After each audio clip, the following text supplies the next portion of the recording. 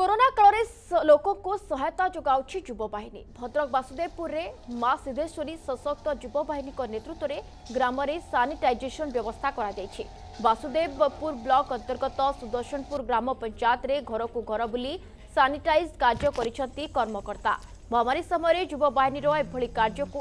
ସମସ୍ତ ମହଲରେ ପ୍ରଶଂସା କରାଯାଇଛି